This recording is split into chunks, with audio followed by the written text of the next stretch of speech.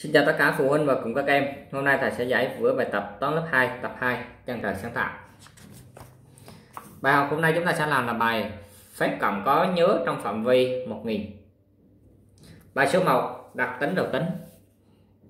352 ta cộng 420 19. Chúng ta cộng chúng ta cũng cộng à, hoặc trừ cũng tương tự vậy. Có nhớ không nhớ gì cũng vậy. Chúng ta cộng bên hàng đơn vị trước rồi tới hàng chục tới hàng trăm. Rồi bài này nó có sự khác biệt một tí xíu là có nhớ có nhớ thì chúng ta nhớ hàng đơn vị thì chúng ta chuyển qua hàng chục. Hàng chục có nhớ thì chúng ta chuyển qua hàng trăm. Hai ta cộng 9 là bằng 11 viết một ta nhớ một. Khi nào nhớ, khi từ số 10 trở lên thì chúng ta sẽ nhớ, được khi nào mà chúng ta cộng lại mà nó trở thành là từ số 10 trở lên thì chúng ta sẽ nhớ, mà dưới từ số 9 trở xuống thì chúng ta không có nhớ. 2 là cộng 9 là bằng 11 như vậy là nó lại từ số 10 trở lên được đúng không? Ta nhớ một nó nhớ một chúng ta sẽ chuyển qua hàng hàng chục. 5 ta cộng 2 bằng 7 7 ta cộng một nhớ nữa là bằng 8 3 cộng 4 là bằng 7 từ đây từ cái chỗ này thì à, dưới 9 chúng ta không có nhớ nữa. À, từ 9 để xuống chúng ta không nhớ nữa. Bên này chúng ta cộng bình thường. 3 cộng 4 là bằng 7 168 là cộng cho 740 8 cộng 0 là bằng 8 6 cộng 4 bằng 10 không nhớ 1 1 cộng 7 bằng 8 8 1 nhớ nữa là 9 653 51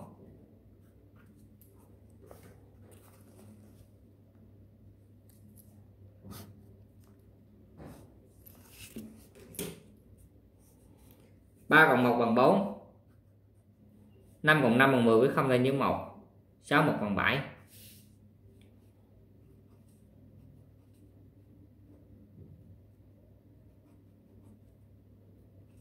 9 cộng 1 bằng 10 với không ta nhớ 1 1 cộng 1 bằng 2 4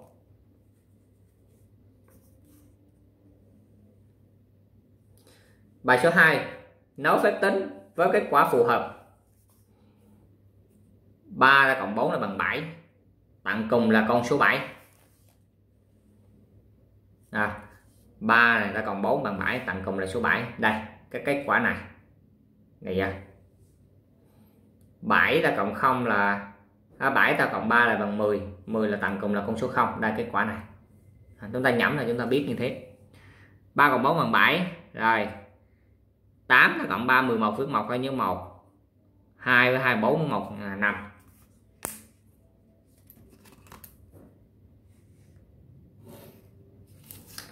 đây chúng ta mới tập làm quen này thầy thầy nhát ngoài này luôn ha. 283 cộng 234 trước khi nháp thì chúng ta à, nếu như các em à, mà nhanh nhẹn á thì chúng ta sẽ nhẩm phía đuôi ha. Thầy nói lại 3 là cộng 4 bằng 7 như vậy chúng ta xem cái phía đuôi là số 7 là đây. 7 ta cộng cho 3 bằng 10 tặng cùng là con số 0 là kết quả này. 6 ta cộng 9 là bằng 15 đây kết quả này.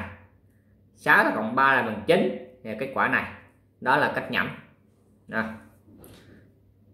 bây giờ chúng ta mới làm quen thì chúng ta cứ đặt ra chúng ta cộng 3 cộng 4 bằng 7 8 3 11 phước 1 theo như 1 517 rồi, còn này. 607 ta còn 13 7 cộng 3 bằng 10 với 0 tính như 1 2 620 đây.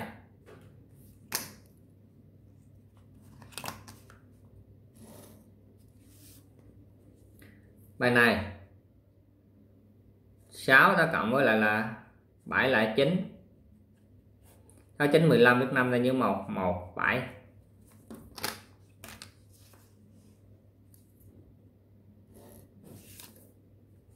bài này.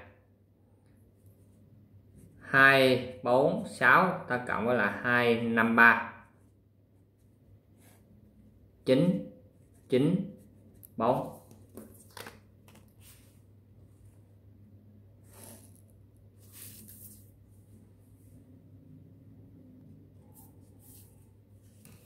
chúng ta qua trang tiếp theo.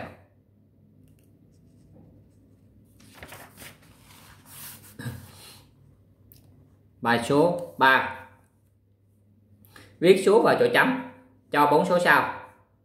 Tổng của số lớn nhất và số bé nhất là như vậy chúng ta đi tìm số lớn nhất và số bé nhất chúng ta cộng lại. Đây là số lớn nhất này. Hàng trăm là 8 này.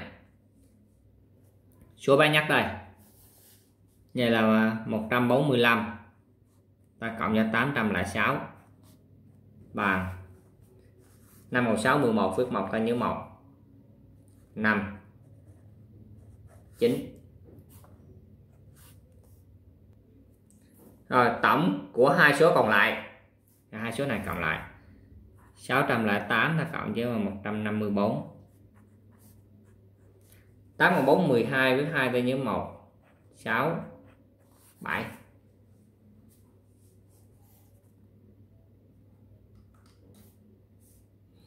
Chúng ta qua bài tiếp theo là bài số 4 290 ta cộng 193 Rồi bằng con gì chỗ này? Câu này là bằng bao nhiêu? Cộng lại là 0 ta cộng 3 là bằng 3 9 ta cộng 9 là bằng 18 với 8 ta nhớ 1 3 4 483 rồi, cái này ta cộng với số này thì bằng là 5 9 ta cộng với 3 12 với 2 ta với 1 625 rồi, cái này chúng ta cộng lại là 5 ta cộng 5 bằng 10 với 0 ta nhớ 1 8 9 8 rồi, hai này ta cộng lại coi giống này không? 3 cộng 7 bằng 10 với 0 ta nhớ 1 8 cộng 1 bằng 9 8 à, đúng rồi đó. À, chúng ta ghi lại con thỏ là mới vừa cộng xong rồi chỗ đó là 483 con mèo đây là 890 và con chó là 625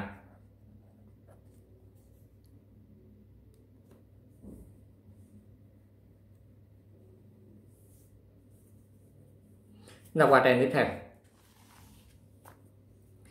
Bài số 5 Viết chữ số thích hợp vào trống không. Ta cộng 5 là bằng bằng 5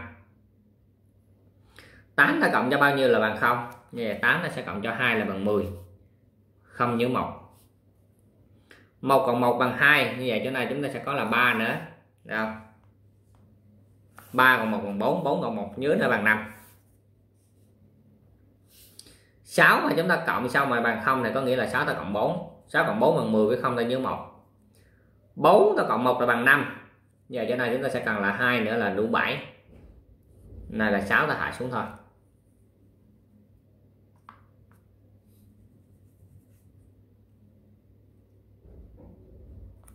Ta qua bài số 6 thử thách đặt các tấm bìa ghi chữ số vào các ô vuông để có hai phép tính cộng khác nhau mỗi tấm bìa chỉ đặt một lần.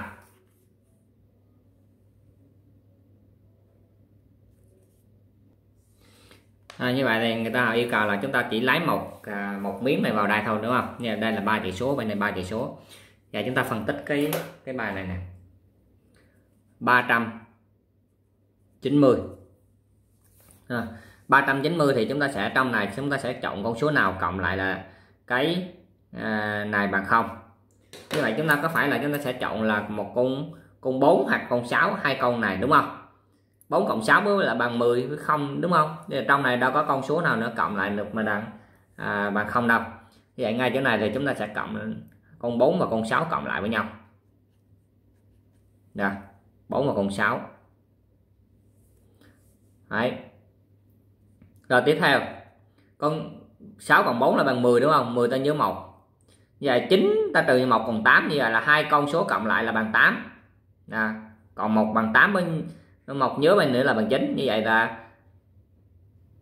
chúng ta sẽ có là con 3 à con 3 và con 5 à 5 5 cộng 3 bằng 8 với một nhớ bên này là 9 rồi còn con con 3 này thì à, chỉ còn lại là con 1 và con 2 cộng lại với nhau thôi.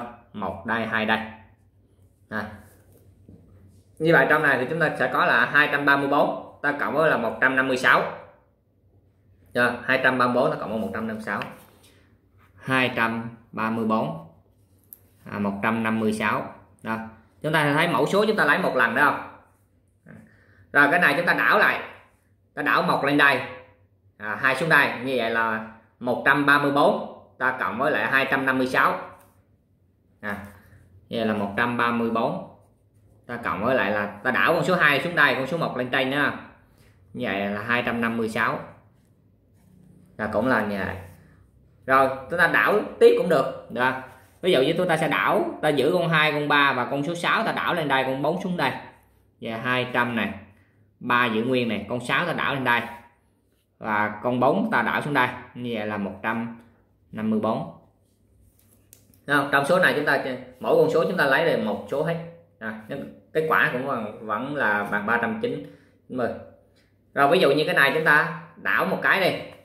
Ví dụ ta đảo con số 5 này qua số 3 số 3 là thành con số 5 như vậy là 154 cộng với lại là 2 3 6 à, cộng lại nó cũng vẫn là bằng. Đó.